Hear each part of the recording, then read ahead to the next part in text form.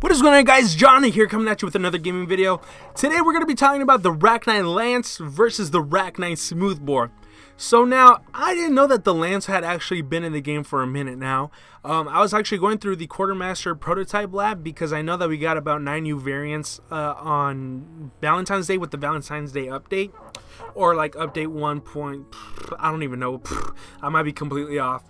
But I saw this gun there and I was like, hey, new gun and I wasn't too interested. I typically don't like a lot of the legendaries. I use a lot of rares or the epics. But then I saw the legendary perk on this and I was like, dude, what? Okay, so it's called Throttle. So now, if you played Black Ops 3 like I did and you love the shotguns like I did because of that choke mechanic they had, this brings that back, okay? So now pretty much whenever you're hip firing, you get that nice traditional shotgun spread, and that's nice and all, you know, uh, to get like multiple enemies or like whenever you're just playing super aggressive. However, in Black Ops 3, whenever you would aim down the sights, all the pellets would condense into a cluster, which gave you a little bit more range and more damage because you were guaranteed that more pellets were going to hit your target. This brings that back 100%, baby! now, it is 2000 salvage, and I was considering not buying it because that's kind of steep and as we all know there are new guns coming into the game. Uh, they were leaked and i'm actually going to link that right down below so like you can so you guys can just go check that out. Um, however i do want to say that 2000 salvage is kind of steep. It's really not when you compare this gun to the Rack 9 Smoothbore, but before we get into that, let's talk about this gun and why I like it oh so much. First off, it brings back that Black Ops 3 feel as I said at, at, the beginning of the video and I like that, I miss it. I really don't like that you can't aim down the sights and you don't get that choke mechanic with all shotguns. I really feel like that should be the standard moving forward from Black Ops 3 but unfortunately that's not the way it is. However, there is good news. As we all know, all of the legendary weapons aren't um, exclusive in terms of their legendary perks. They're not exclusive to that one gun. They're not epics um, because one epic, there won't be another epic on a different gun with the same perk, if you know what I'm trying to say here. So that means that the throttle perk on here has the potential to go to the, um, oh crap, what are they called? Oh, oh, to the Banshee, to the Decimate, and Lord forbid it goes to the Reaver because that's just Brecci number two. That gun would be so broken, and I'm already bored of it because it's effortless to kill people. It's just insane. It needs a nerf. Uh, however, I'm, I am getting off topic. This gun, it's it's amazing. That's all I got to say. Oh, and the secondary perk on this is called Sharpshooter, so we all knew that. You get an extended damage range, uh, which is pretty legit. So now the way I run this gun is I run it with an Elo sight because I don't like the iron sights on the Rack 9 smoothbore. I just think they're garbage. Um, I run it with quick draw with rifle barrel because it does stack with that sharpshooter and I run it with a suppressor because unlike Black Ops 3, where in Black Ops 3, running a suppressor with, with a shotgun gave you significant penalty to damage and range. So it was a double whammy. They just didn't want you running around with a suppressed shotgun. In this game, a suppressor only gives you a minus 5% damage range. So that's pretty good. It's almost not noticeable at all and especially with this gun so I stacked those two together and dude it's legit I really enjoy it now, as far as perks go, I have to say that dexterity is a must, especially with the pump action shotguns, okay? It is a must because they reload too painfully slow. So as of right now, there's only two pump action shotguns. That is the Rack 9 and the Spaz 12 or the S Ravage for all you OGs out there. Um, and it's very painful because unlike the Brecci, unlike the Decimate, or even the Banshee, they'll have a drum mag or like just a magazine that holds all the rounds. You take out the old mag, you put this one in, and then you watch your round count go from 0 to 12 just like that, super quick. Not with these. You need to uh, individually insert every single round, and without dexterity, that is painful. I mean, just look at this. This is re reloading from 0 to 9 shots on the Rack 9 without dexterity. Check it out.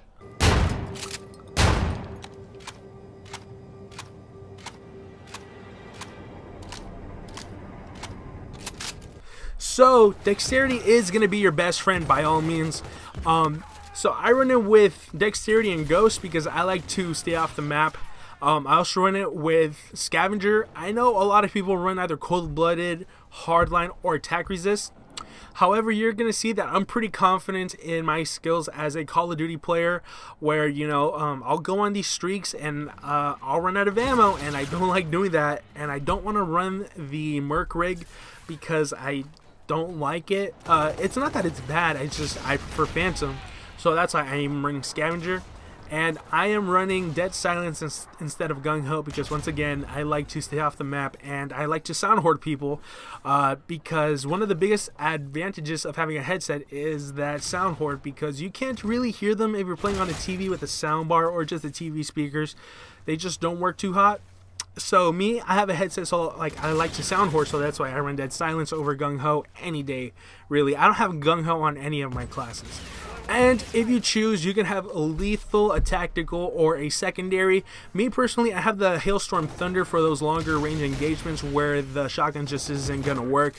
Um, I don't think I use it. I might use it one time in this gameplay. I'm not too sure. I will find out soon enough. Um, but that is the way I run the Rack 9 Lance. This is the best class setup, period, for anybody. Uh, minus the Scavenger, you can switch that out if you choose. But this is the best class for you to just wreck people. And uh, that's, uh, there's really nothing else to say um, as far as class setup goes. Uh, I do want to talk about two more reasons why I really do enjoy this gun. I really do enjoy this gun because sometimes you're just a little bit too far away. So as we all know that the pellets do spread and then when you hit fire and you are further away, uh, the further you are, the more the pellets are going to spread, the less pellets are actually going to hit your target. So I like that I can aim down the sights and have them condense and I'm more likely to kill them in one shot at those uh, further distances. And this has a pretty impressive one-shot kill range. Uh, I mean, check this out right here. This is the maximum range to kill somebody or like get a hit marker at least. And that's pretty good. I mean, this is a, the Rack 9 Lance stacked with rifled barrel and I'm not running suppressor. This is the maximum range for at least a hit marker. But at this range, I'm pretty sure it's going to be about two shots to kill. So that being said, this gun, I really like it. It's my new favorite but let's compare it to its older brother, the the Rack 9 Smoothbore. So now this gun, um, there's only one way to explain this gun for for those of you who haven't used it or haven't had it used against you.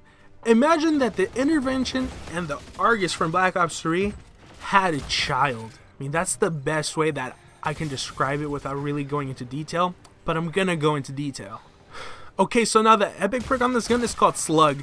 So um, it, so it fires a powerful single shot, you know, and it's a slug. There's there's nothing else to it. It's like the Argus. Whenever you would aim down the sights, it would turn into a slug. However, unlike the Argus, whenever you hip fire, it's still a slug. If, if you guys did play Black Ops 3, then you know that the Argus had that nice shotgun spread from the hip, but whenever you would aim down the sights, um, it turned into a slug, and I gotta say that the Argus was my baby. Man, I love that gun so much. Um, it was cancerous. It got buff after buff after buff after buff. They never nerfed it once, and every single time it got a buff, it was to its damage range. So this is pretty ridiculous. But the Argus actually had a 17 meter one-shot kill range, which was redonkulous. Uh, but the smoothbore kind of is better, but it's also kind of not. Let me explain what I mean. So, with the smoothbore, the maximum range to hit him anywhere in the body and still get a one-shot kill is 15 meters. So it's not quite the 17 that the Argus had, but 15 is still pretty considerable. Uh, that is, however, if you hit him from the waist up and in the head, if you shoot him in the legs, it's going to be two shots to kill, um, and you know, blah, blah, blah, blah, blah, blah, whatever. However, from the 15 meter range and extended, a one shot kill to the head at all ranges on any map, Crusher and Terminal included, is a one shot kill. Okay, you can snipe them from across the map so long as you land a headshot, and it's always going to be a one shot kill. And that is ridiculous, especially for a shotgun. Even surprised that's not going to harm your damage range as long as you're shooting them in the head there's no problem uh, which is pretty ridiculous however I'm not complaining because like I said you can't just hip fire this gun because look at the hip fire spread on this guy it's intense and it goes everywhere in, this area. Um, it's not contained anywhere.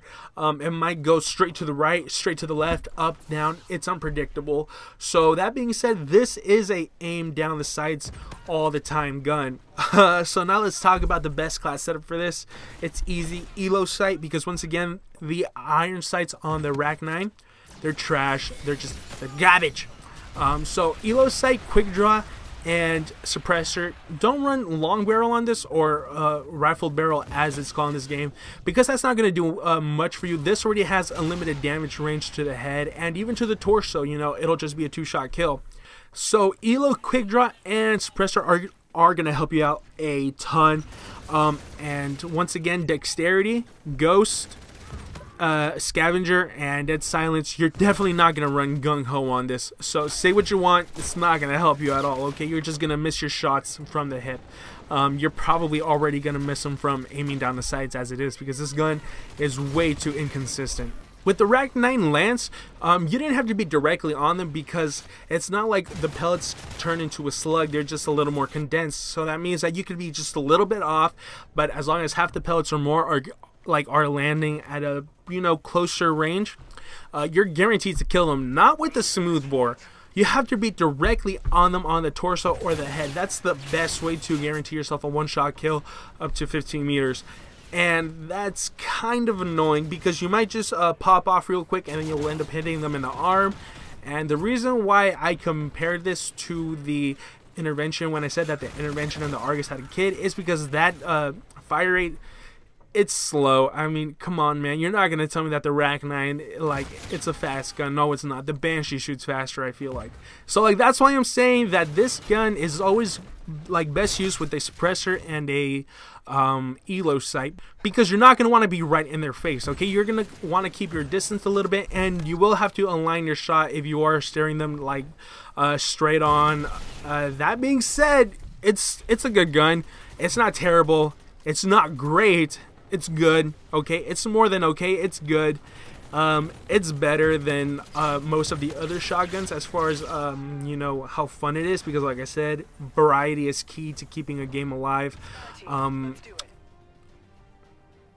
so then this gun it just it offers a completely different experience. So I use it from time to time, but as of right now, the Rack 9 Lance that's my gun of choice. As far as shotguns go, I put the Reaver aside and I'm using this because it really brings back that Black Ops 3 shotgun feel, which I really like, especially that choke mechanic. There's no beating it. So with the final verdicts, I gotta say, go for the Rack 9 Lance. I mean, it's cheaper at 2,000 salvage as opposed to 4. It's consistent. You can run it uh, hip fire. I mean, I mean, you can hip fire, dude a shotgun, like in my opinion, it's useless if you can't hip fire. So that's why I'm saying that the Rack 9 Lance is the better shotgun as far as Rack 9 goes. Um, and I like to think that I'm speaking for the average Joe here because I'm just a very casual player who happens to do very okay sometimes. Uh, sometimes I'll go like 30 and 19. Um, that's still not a 2KD, but I consider that pretty good. Um, I'll go on 40 streaks every now and then, but likewise, sometimes I'll go like 3 and 20. Uh, and that's just unfortunately what it is. So, with that in mind, I am saying that the Rack 9 Lance is the better gun. Uh, however, you guys are free to spend your salvage the way you like. I'm just trying to help you out here and make better decisions and maybe save up a little bit because there are new guns coming into the game. So if you really want a shotgun, it's not going to happen this DLC gun drop because there are no shotguns. Um, oh yeah, and if you guys don't know, we are getting two new guns. Uh, it hasn't been confirmed, but it's a very legitimate leak. Uh, it's called the Maverick, and the other one, it looks a little weird. I'm not going to put them on the screen or in the thumbnail. I'm just going to link them down below so you guys can go check them out. I know I'm a very small channel, but still, you can get a copyright strike for that. Activision just loves to do that. So just go check it out in the link down below. So that being said, I hope you guys enjoyed the video. I hope I helped you guys make a smarter choice. Uh, can we get to five likes, please? Oh, but before we continue, I want to explain why my first three videos have 2,000 views, because I was accused of botting, and that's simply not true. Whenever you upload a video, for those of you who have uploaded videos, you'll see that you have the option to promote your video with Google AdWords. So that's their advertisement. So pretty much I pay them about $20 and they can guarantee me at least 1500 views and um, from there, you know, that's how it goes. I mean, I paid Google to put my videos in the recommended section of people's list and I realized that's probably not the way to go because it's expensive. I don't have $20 to give them every video. And uh, it just looks weird because what if I upload a video like I have been lately without giving them the money for the um, ads? It's just gonna look weird. So I decided to stop doing that you know because uh, I, I, I, got accused of botting and that's not what's going on at all. I just wanted to clear it out real quick. But back to the video or back to the outro I should say. I hope you guys enjoyed the video. Can we get to five likes? That would be greatly appreciated. Um, dude, a like, I mean, a comment and a sub always greatly appreciated. And I'm thinking that I kind of want to make this like a regular series, you know, talk about a gun and then its two predominant var- variants and then talk about which one's better. Um, I do want to talk about the R3K because despite what people say, the Rekt, don't get me wrong, it's a really good gun. However, it's not the best R3K. Um, the Rekt is a better gun, but that's a but it is a better gun than than a completely different gun overall. Uh, I'm not talking about the variants; it's just a better gun than the Volk, so that's why it was on my list of the best variants to use. However, um, if you hit that like button, I'll know that like this is what you want to see. Next time, I'll be sure to add stats and be a little more in depth about it. This is just a quick video I wanted to get out there because I'm a little backed up in real life. You know, gets in the way of me uploading videos. Um, I do have a job, so that's why. I do want to be consistent with this though. So just let me know what you guys think in the comments down below, and I hope you guys have a great day.